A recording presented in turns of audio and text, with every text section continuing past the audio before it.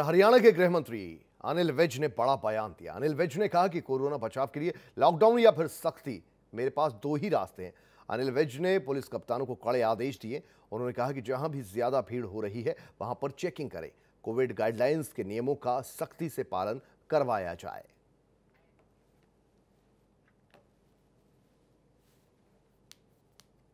को रोकने के लिए एक है लॉकडाउन और दूसरा है सख्ती। तो मैंने दूसरे रास्ते का मूड बनाया है।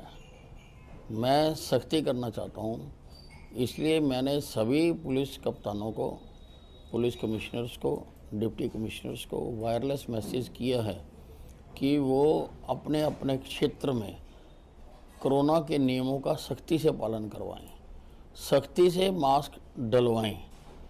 और सब स्थानों पर जाकर चेक करें, जहाँ पर भीड़ भाड़ होती है, वहाँ चेक करें कि सोशल डिस्टेंसिंग मेंटेन हो रही है या नहीं हो रही है।